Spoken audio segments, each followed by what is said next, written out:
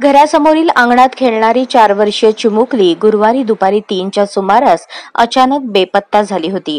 कुटुंबियांनी सर्वत्र शोध घेऊनही रात्री उशिरापर्यंत तिचा तपास लागला नव्हता. दरम्यान शुक्रवारी दुपारी त्या चिमुकलीचे शव घराच्या पाठीमागील शेतात असलेल्या विहिरीच्या पाण्यावर तरंगताना आढळून आले. ही घटना भूम तालुक्यातील पखरूड येथे घडली. भूम तालुक्यातील पखरूड येथील खरडा रोड लगत उमेश भोसले यांचे घर आहे. याच ठिकाणी भोसले कुटुंबासह वास्तव्यास आहेत. त्यांची रसिका नावाची चार वर्षीय मुलगी व मुलगा अशी अपत्य आहेत. गुरुवारी दुपारी तीन साडेतीनच्या सुमारास रसिका व तिचा भाऊ दोघेही घरासमोरील अंगणात खेळत होते. त्यांची आई कोमल भोसले या घरात कामात व्यस्त होत्या.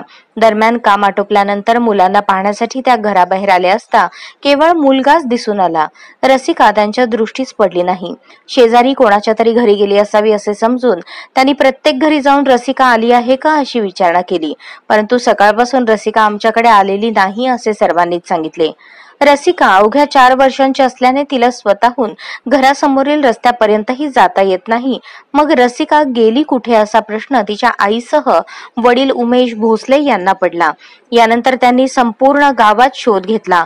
खरडा रोड परिसरातही शोधाशोध केली परंतु रसिकाचा काहीच तपास लागला नाही. असे असताना शुक्रवारी दुपारच्या सुमारास घरामागे असलेल्या शेतातील एका विहिरीच्या पाण्यावर चिमुकल्या रसिकाचे शव तरंगताना आढळून आले. हे वृत्त समजताच रसिकाच्या आईने हंबरडा फोडला.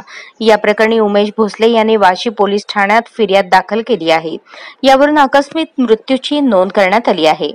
रसिका ही अवघ्या चार वर्षांची चिमुकली. तिला स्वतःहून घरासमोरील वीस ते पंचवीस फूट अंतरावर असलेल्या खरडा रस्त्यापर्यंतही जाता येत नाही. घरामागील शेतात असलेली विहीर खूप दूर आहे. संपूर्ण शेताची नांगरट झाली आहे. धडधाकट व्यक्तीला या नांगरटीच्या शेतातून चालता येत नाही.